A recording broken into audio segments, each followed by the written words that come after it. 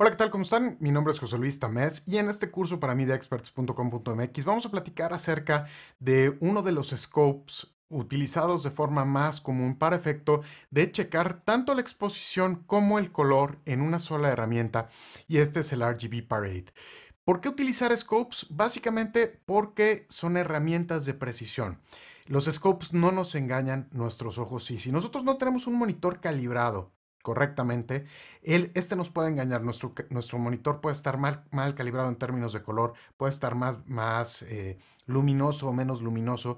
Y entonces nosotros tomamos decisiones con respecto a la exposición y con respecto al color en base a lo que nuestros ojos nos dicen que es correcto. Sin embargo, si nosotros nos acostumbramos a una luz de un tipo determinado, nuestros ojos nos dicen una cosa y la realidad puede ser otra. Entonces, es bien, bien importante que a menos de que tengamos la certeza que estamos trabajando con un monitor perfectamente bien calibrado y con scopes físicos como a lo mejor eh, un equipo de Tektronix o un líder, siempre utilicemos antes de entregar nuestro producto final eh, herramientas como los scopes y obviamente Premiere incluye una serie de scopes que podemos utilizar sin ningún problema y con toda la certeza de que los resultados que nos muestren van a ser los adecuados para, el, para realizar el tipo de trabajo que necesitamos. Entonces vamos a Premiere y vamos a mostrarles eh, cómo funciona esto del RGB Parade.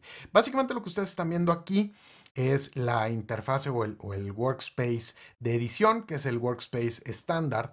Sin embargo, eh, no vemos aquí scopes. Para ver scopes tenemos que entrar eh, generalmente al modo de color. Podemos verlos de otra forma si entramos aquí a, Window y Lumetri Scopes, pero generalmente eh, es mejor utilizarlos en el modo de color. Podemos utilizarlos independientemente si nosotros queremos, pero lo ideal es entrar al modo de color. Entonces yo le doy clic aquí al modo de color y vemos aquí que me aparece esta pestaña de Lumetri Scopes aquí. Ahora, puede ser que ustedes estén viendo esto o estén viendo a lo mejor esto, pero aquí tenemos esta pantalla que se llama Lumetri Scopes. Es probable que no necesariamente estén viendo un RGB, puede ser que estén viendo waveform, un vectorscopio, un histograma, etcétera. Y entonces que ustedes estén viendo esto en lugar de mostrar solamente el RGB Parade. Ustedes pueden habilitar o deshabilitar scopes sin ningún problema. De aquí dan, clic con el botón derecho, en este caso deshabilitamos el vectorscopio, deshabilitamos el histograma y deshabilitamos el waveform. Tenemos aquí en, en mediaexperts.com.mx una serie de videos donde hablamos acerca de las distintas herramientas. Pueden checar el video correspondiente al uso del waveform monitor o monitor forma de onda, del vectorscopio, etcétera, ya que estas herramientas se pueden utilizar de manera aislada o en conjunto. Y de hecho, en la mayoría de los casos se utilizan en conjunto. Sin embargo, esta en particular, el RGB Parade, es una de las que en una sola herramienta nos da prácticamente todo. Entonces, en nuestro caso, si tuviéramos que elegir una sola herramienta, un solo scope, básicamente elegiríamos RGB Parade por la funcionalidad que nos da. Así que vamos a ver cómo está este rollo de, eh, del RGB Parade. Entramos aquí y en Parade Type tenemos la opción de escoger RGB, YUV, RGB White y YUV White. Si nosotros seleccionamos, vemos aquí cómo nos cambia. Nos muestra obviamente en YUV nos muestra en RGB White, nos muestra, no nos muestra exactamente el color, en el entendido de que nosotros sabemos que es R, G y B, Red, Green and Blue, o en su caso eh, YUV White, que es el YU y el, y el B.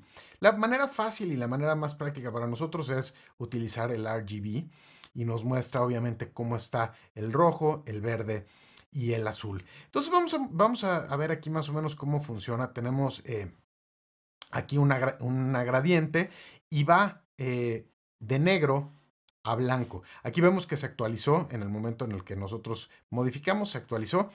Y aquí, eh, al igual que herramientas como el Waveform Monitor, nos marca 0 es la ausencia de color y 100 es el color al tope. Como sabemos, ausencia de rojo, ausencia de verde y ausencia de azul es negro y rojo, eh, rojo, verde y azul al 100% es blanco. Entonces, de ahí que vayamos de 0 a 100 en los, en los tres casos. Si nosotros nos vamos eh, con, otra, con otro gradiente, por ejemplo este, vemos 0, que es esta parte, corresponde a esto y 100, que es el blanco, corresponde a esta parte. Si nosotros lo invertimos, básicamente es lo mismo, lo que vamos a, lo que vamos a estar viendo y vamos a, ver eh, que, no, que no nos varía. Ahora, ¿qué pasa si nosotros juzgamos una imagen? En este caso, tenemos una, una imagen grabada en Ultra HD en modos log 3 ya tiene una corrección de, color con un LUT y vemos más o menos aquí cómo está la imagen. La imagen sabemos y se ve, se ve bien, pero ¿cómo interpretamos esto?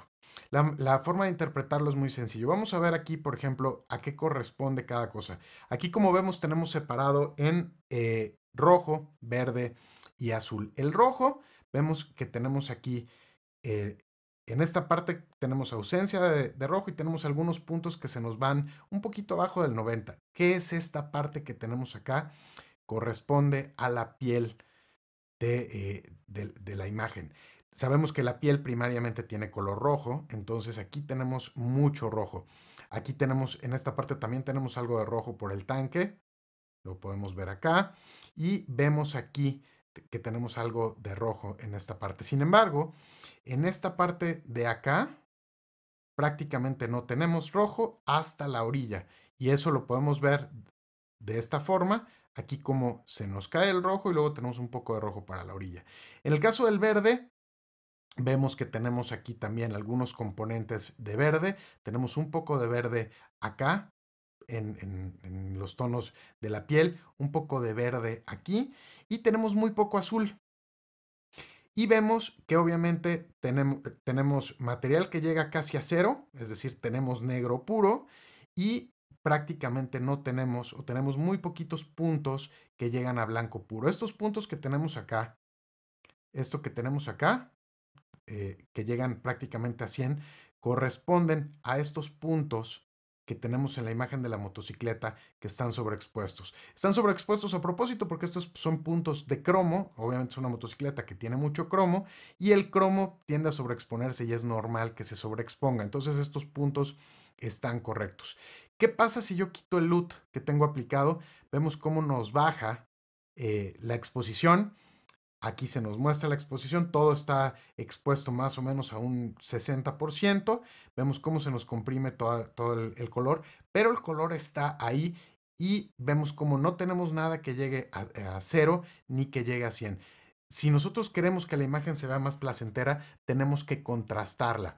Tenemos que hacer que haya una gran diferencia entre lo que es negro y lo que es blanco para que el color se vea adecuado. Entonces, mientras mayor contraste tenemos y hay mayor diferencia entre negros y blancos, mejor se va a ver nuestra imagen. Entonces, en el momento en el que entramos acá y nosotros aplicamos aquí este LUT que, tenemos, vemos cómo la imagen se ve placentera y cómo se ve de forma, eh, de forma correcta, sin ningún problema. Vamos aquí a otro caso. Esta es otra, eh, otra imagen. Eh, vamos a quitar aquí el, el, LUT y vemos más o menos cómo se ve. En este caso, utilizamos otro, otra forma de, grabación, también es un material 4K. Y vemos, por ejemplo, aquí en esta sección que tenemos un blanco sobreexpuesto. Esta parte son unas ventanas y estaba entrando luz del sol. Y entonces tenemos estos puntos de sobreexposición. Al igual que los puntos de sobreexposición en la, en la otra imagen, vemos aquí estos, toda, esta parte que está aquí al 100, tanto en el rojo, el verde y el azul, corresponde a esta sección que está eh, sobreexpuesta. ¿Dónde está más o menos eh, eh, los tonos de rojo? Vemos aquí, básicamente en la parte de, las lámparas, nos marca algo de rojo. La piel está más o menos por acá.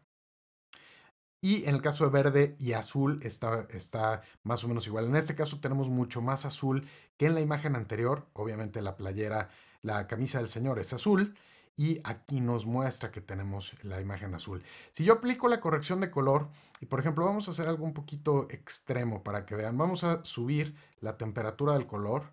Obviamente esto ya es ridículo en términos de, de, qué tan cálida se ve la imagen, pero para efecto de muestra podemos ver cómo los rojos se nos volaron, los rojos prácticamente se nos fueron hasta arriba. Estos rojos son los que corresponden a la piel. Y efectivamente está todo rojizo y tenemos tintes verdosos en toda esta sección como nos lo muestra esta parte. Si yo compenso aquí lo verde, por ejemplo, vemos cómo el verde nos baja, obviamente lo rojo sigue, pero se ve, eh, se ve obviamente bastante, bastante mal. Sin embargo, esto, los scopes nos están indicando perfectamente bien dónde está nuestro rojo, dónde está nuestro verde y dónde está nuestro azul y qué es lo que tenemos que corregir. En casos de imagen que tengamos mal balanceada, que el balance de blancos no esté correcto, los, eh, el RGB Parade nos va a decir, cuidado, tienes más rojo, cuidado, tienes más azul. Y la idea es que obviamente los colores estén lo más equilibrado posibles para que la imagen se vea correcta y que no tire hacia azul o tire hacia magenta o hacia verde. Eh, o así, sino que tengamos un color neutral y un color estable. Entonces, esta herramienta es sumamente útil, obviamente nos ayuda muchísimo, nos permite eh, lograr resultados consistentes Inclusive, por ejemplo, si estamos combinando imagen de una cámara y otra, nos permite lograr resultados eh, consistentes porque sabemos en dónde tenemos los tonos de rojo, de verde y de azul, dependiendo del tipo de, trabajo que estemos haciendo, etc. Así que, obviamente, eh, es bien, bien importante aprender a utilizar estas herramientas, utilizarlas siempre, porque como se los comento, obviamente la vista nos puede engañar, nuestros monitores nos pueden engañar si no, están, si no son monitores profesionales perfectamente calibrados, a los cuales la mayoría de nosotros no tenemos acceso,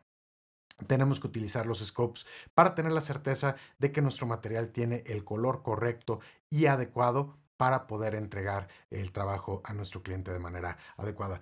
Como siempre, los invitamos a ver este video tantas veces como sea necesario y los invitamos a ver los otros videos que tenemos en la serie para que puedan aprender a utilizar herramientas como el vectorscopio, como el monitor forma de onda, los distintos scopes y los distintos videos que tenemos sobre temas de corrección de color y todo esto aquí en mediaexperts.com.mx. Pero esperamos que disfruten del contenido y sobre todo que les sea de utilidad. Muchas gracias. Adiós.